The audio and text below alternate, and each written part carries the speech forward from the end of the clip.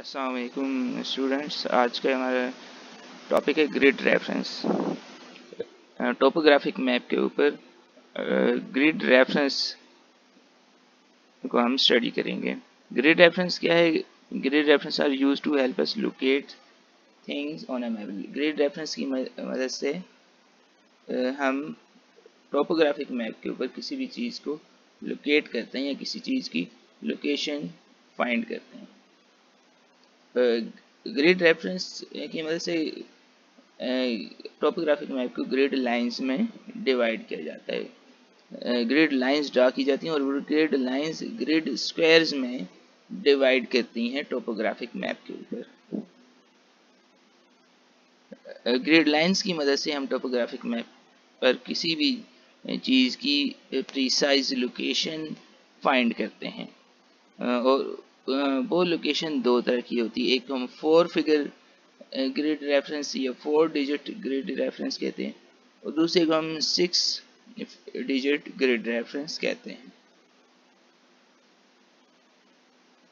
ये एक मैप है टोपोग्राफिक मैप जिसको ऊपर ग्रिड लाइंस ड्रा हैं और वो ग्रिड लाइंस इस मैप को ग्रिड स्क्वायर्स में डिवाइड कर रही हैं। अब ये ग्रिड लाइंस दो तरह की होती हैं। एक को हम ईस्टिंग्स कहते हैं और दूसरे को नॉर्थिंग्स ईस्टिंग वो लाइंस हैं जो वर्टिकली ड्रान है। वर्टिकली अप लाइंस जो हैं उन लाइंस को हम ईस्टिंग्स कहते हैं। और इनकी वैल्यू ईस्ट वर्ड इंक्रीज होती है। जैसे जैसे आप ईस्ट वर्ड मूव करेंगे इन लाइंस की वैल्यू इंक्रीज होती जाएगी। दूसरी northing lines northing horizontally drawn lines कहलाती हैं और इन लाइन्स की वैल्यू नॉर्थ साइड पे इंक्रीज होती है। जैसे से आप अपवर्ड मूव करेंगे या नॉर्थ साइड मूव करेंगे नॉर्थिंग लाइन्स जो हैं उनकी वैल्यू इंक्रीज होती जाएगी। यहाँ पर आपको ये दोनों लाइन्स और उनकी वैल्यूज़ नज़र आ रही हैं। जो वर्टिकल लाइंस हैं वो ईस्टिंग्स हैं और इनकी वैल्यू बॉटम में दी गई है। और यहाँ पर आप देख सकते हैं कि जैसे आप राइट साइड पर ईस्ट वर्ड मूव करेंगे इनकी वैल्यूज़ इंक्रीज हो रही है। 93, 94, 96 इस तरीके से इनकी वैल्यू इंक्रीज हो रही है। और नॉर्थिंग लाइन्स जो हैं हॉरिजेंटल लाइन्स हैं इनकी वैल्यू लेफ़्ट साइड पर दी गई है।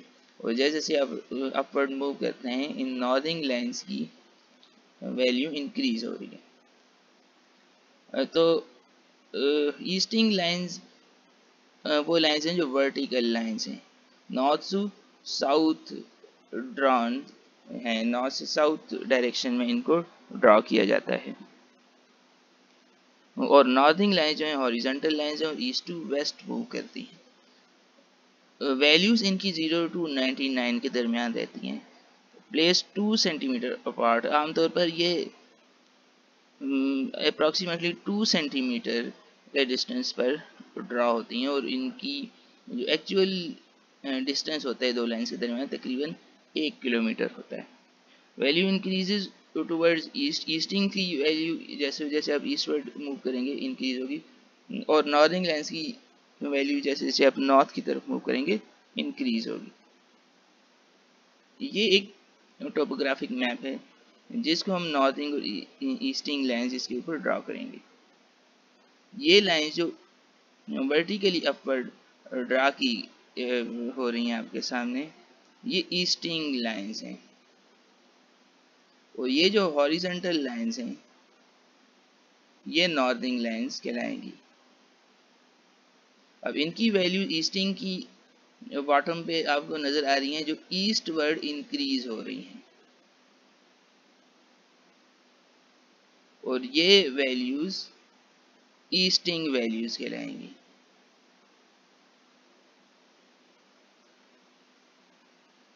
जबकि नॉर्थिंग लाइन जैसे जैसे अब नॉर्थ वर्ड अपवर्ड मूव होंगे, ये वैल्यूज़ इनकी इंक्रीज होंगी और इनको हम नॉर्थिंग्स कहेंगे। इस तरीके से एक topographic map easting northing grid lines में ग्रिड लाइंस उस पर ड्रा होती हैं और ग्रिड स्क्वायर्स में डिवाइड होता है।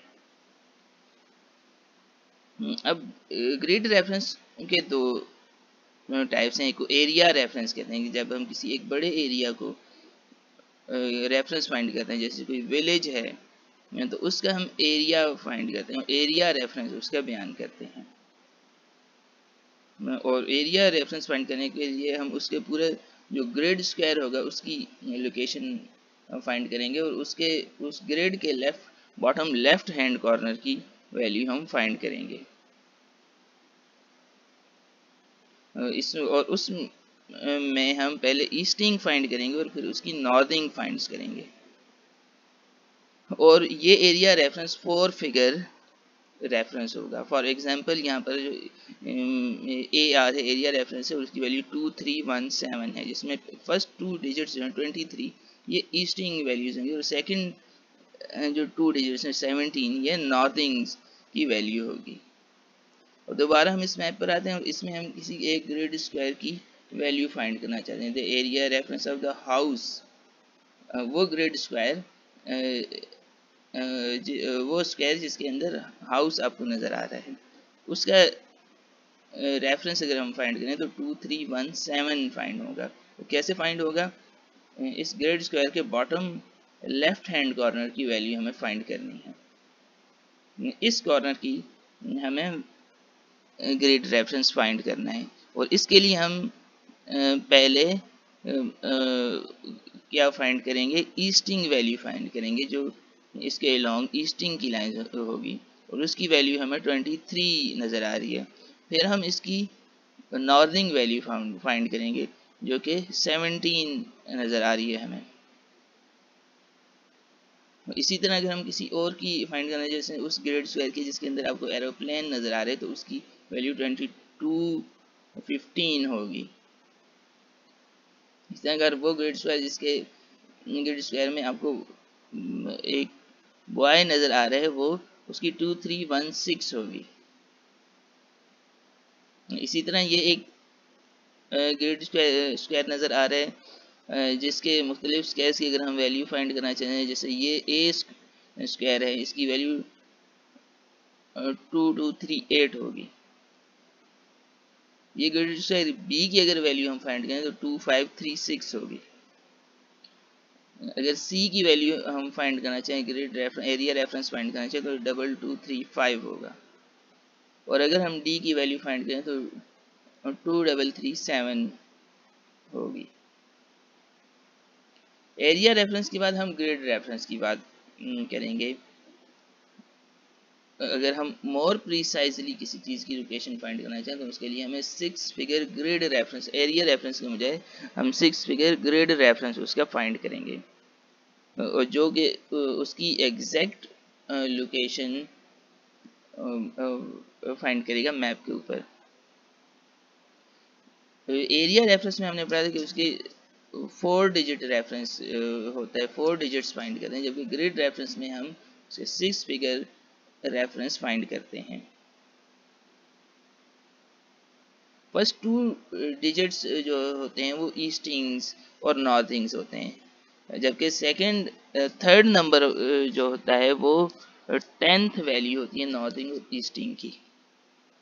फॉर एग्जांपल अगर हम grid reference six figure grid reference यहाँ पर फाइंड करें तो ये double three five six three eight है। इसमें जो पहले टू डिजिट है थर्टी थ्री है, ये ईस्टिंग की वैल्यू होगी। और उसके बाद नेक्स्ट जो थ्री डिजिट्स हैं, उसमें सिक्सटी थ्री जो वैल्यू होगी वो नॉर्थिंग की वैल्यू होगी। और जो ये फाइव नज़र आ रहा है ये टेंथ वैल्यू या एट जो नज़र आ रहा है ये टेंथ वैल्यू होगी ईस्टिंग और northing dividing the easting and northing into tenth उनको टेंथ पार्ट्स में डिवाइड करके जो आप फाइंड करेंगे वैल्यू वो ये थर्ड पोजीशन पर आएगी। इसकी एग्जांपल हम देखते हैं। What is the grid reference for the ball in which the boy is about to catch वो ग्रेड स्क्वायर जिसमें एक बॉय है और वो एक बॉल को कैच कर रहा है। उस बॉल के अगर हम ग्रेड रेफरेंस फाइंड करना चाहें तो उसके लिए हमें इस ग्रेड स्क्वायर को डिवाइड करना होगा टेंथ पार्ट्स में। सबसे पहले हम इसको वर्टिकली टेंथ पार्ट्स में डिवाइड करेंगे। इसमें हम देखेंगे कि ईस्टिंग की कौन सी लाइन के ऊपर वो बॉल आ रही है? तो हम देख रहे हैं कि एट्थ लाइन जो है, जिसको हमने बोल्ड किया है, उसके ऊपर बॉल की लोकेशन आ रही है। फिर हम इसको हॉरिजेंटली डिवाइड करेंगे। यानी कि नॉर्थिंग की वैल्यू जो है, उसको हम टेंथ पार्ट्स में डिवाइड करेंगे। तो हम देखेंगे जो नाइन्थ डिवीज़न है, उसके ऊपर पोजीशन आ रही है बॉल की। इस तरीके से अगर अगर हम उस बॉल की प्रीसाइज लोकेशन फाइंड करना चाहें मैप के ऊपर तो ये two three eight one six nine आएगी। टू थ्री इसमें ईस्टिंग की वैल्यू होगी और वन सिक्स इसमें नॉर्थिंग की वैल्यूज़ वैल्यू होगी और एट और नाइन जो है, ये उसकी टेंथ डिवीज़न होगी।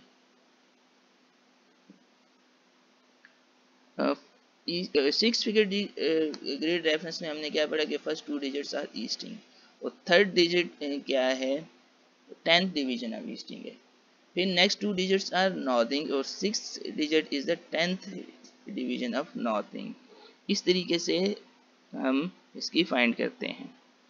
ग्रेड रेफरेंस शुक्रिया स्टूडेंट्स नेक्स्ट लेक्चर में मिलते हैं एक नए टॉपिक के साथ। अल्लाह हाफिज़।